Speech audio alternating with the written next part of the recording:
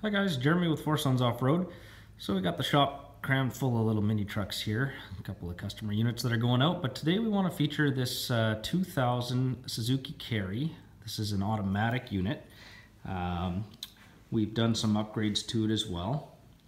Uh, so it's got a, a two inch lift kit on it, uh, as well as a set of 14 inch Vision uh, cross alloy wheels with uh, Cooper 195 60R14 uh, mud and snow tires on it as well. So this one's set up basically ready to go for the street. Um, make a nice little acreage unit, you know, farm unit. I wouldn't, uh, I wouldn't expect to see this thing going out, to, uh, you know, as a hunting unit or a, a mud unit. The three-speed automatics, the, the gearing's just a little too fast on them. They don't have the, the high and low range setting like the five-speed units do. Uh, like our little unit right behind it. That's got a five-speed manual, high low range. That's the unit you want, uh, you know, if you're going to throw off-road tires on it or tracks for sure. But anyways, on this unit, uh, since we've got it in the showroom, uh, we're just going to uh, do a kind of an in-depth walk around on it. I'll show you some uh, some details on the truck and uh, kind of just go over what we look for when we're buying them, as well as you know just a, a, few items that that you might have questions about. So starting with the exterior of the truck, um, we just did a, a, little bit of a rock guard treatment here uh, on the grill, just to give it a you know a different look. Um, kind of makes uh, makes the grill stand out a little bit more, which is nice. And then we matched that uh, kind of on the side panels. Uh, just ran it all the way down the side of the bed, and uh, did the headache rack as well. Kind of just gives the truck a different look, and uh, yeah, it makes it stand out for sure. So exterior wise on these units, uh, the beds are a big selling feature. Um, all the trucks we bring in, unless it's got a specialty bed on it, this they have a three side drop side bed on them, which is really nice. You can drop the, uh, the bed sides down. Of course, the tailgate will drop down as well. And uh, one other really neat feature, of course, is that these uh, the bed rails are just hinge, so they will hinge right off. There's a little 10 mil uh, kind of retainer bolt there, so you just pull out that 10 mil bolt, and then you can literally just pull the side panels off. The tailgate's the same way, and that way you can have like a true flat deck without your side panels kind of flopping around on you. One other thing with these bed latches is they are adjustable. So you do have a couple of bolts just on the inside here um, those, if you loosen them off, they are slotted, so you can tighten up your uh, your bed latches if they are, you know, noisy, squeaking, rattly. One other thing, if your bed latches tend to be squeaky, the fix for that, obviously tightening them up helps, but the other fix is having this uh, plastic sleeve on the end there. That is uh, stock. The truck's supposed to have that. So if you're missing that, uh, a lot of times that'll be what is uh, causing your you know those high pitched kind of squeaks and rattles on the uh, on the truck. You can uh, get replacements for those and I highly recommend doing that for sure if your if your truck is kind of squeaky or if you just can't seem to uh, you know get enough tension out of tightening them up to uh, to keep your side latches from popping open.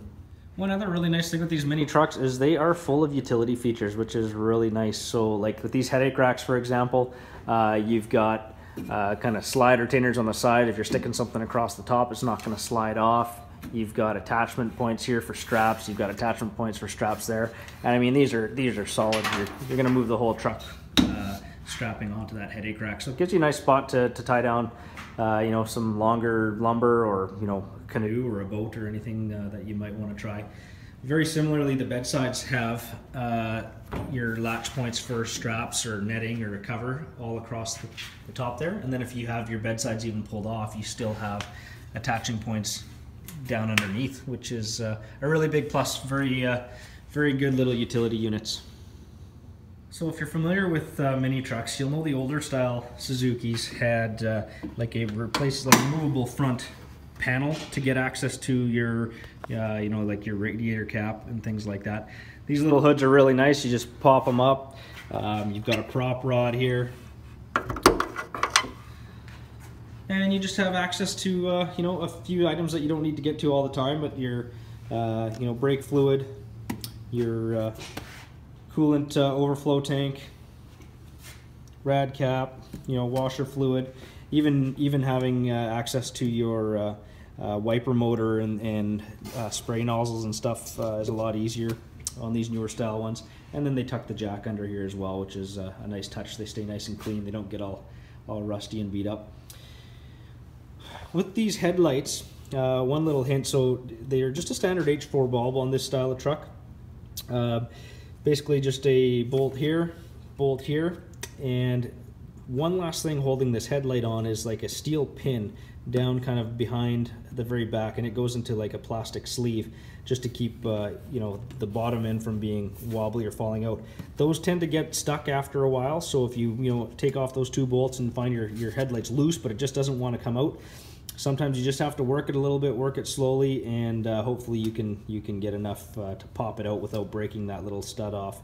Um, but uh, yeah that's what's holding it on behind there in case you're in case you're wondering and can't figure out how to get your headlight assemblies out. Now as far as upgrades on this truck, we did do, again, the 2-inch lift kit on it, um, as well as these 14-inch uh, Vision alloy wheels, which uh, look really nice. They're in a gunmetal finish. And then a set of uh, 195 6014. Uh, these are Cooper. Uh, these are the Cooper ST2 button snow radials. So nice grippy uh, tread there, soft compound tire, and that's the reason we do a winter tire most times. If we're doing kind of a, a uh, street slash off-road tire, they have a softer compound, obviously a little better tread patch on them. And in this tire size, uh, unfortunately for street tires, in Canada, that's about as aggressive as we can find. They don't make anything much more aggressive than that that we can get our hands on here typically. So fully uh, street legal here in Canada. So let's have a look at the interior. Now this truck only has about 9,600 kilometers on it, so the interior is really clean.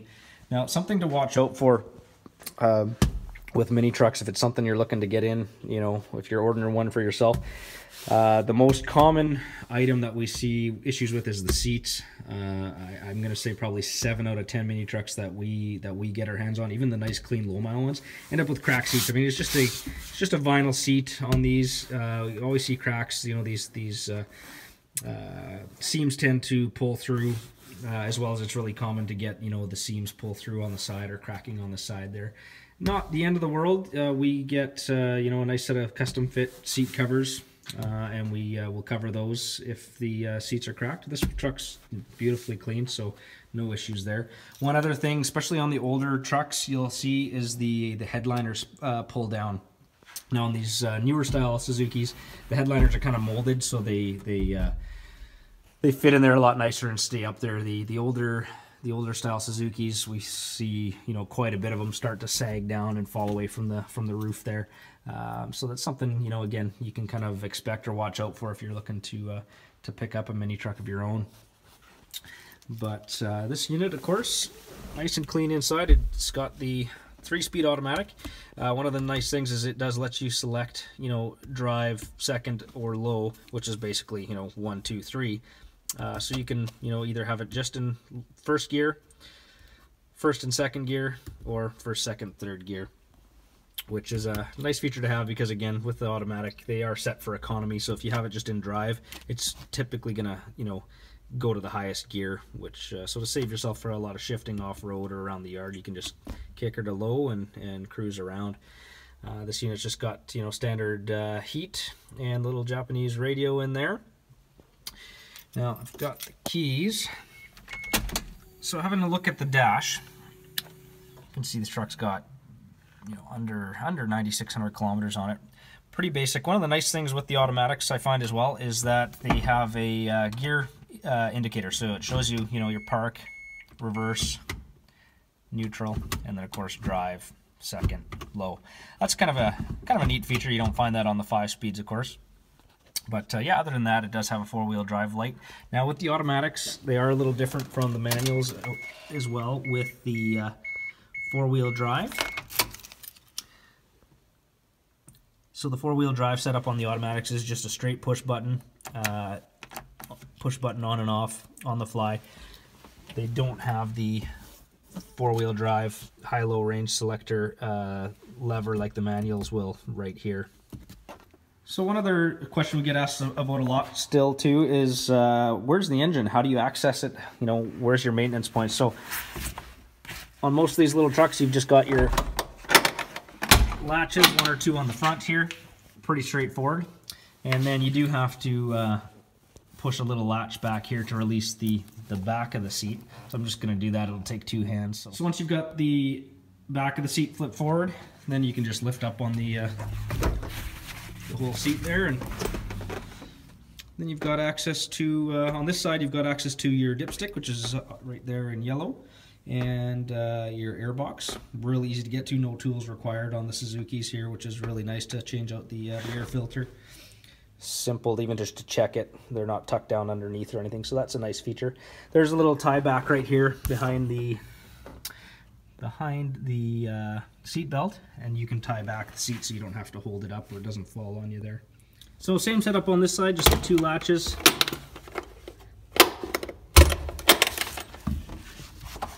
And you just flip up your seat. And on this side you have access to your oil fill cap, which is right there. The battery here, which is really nice on these DB52s, having the battery up under the seat.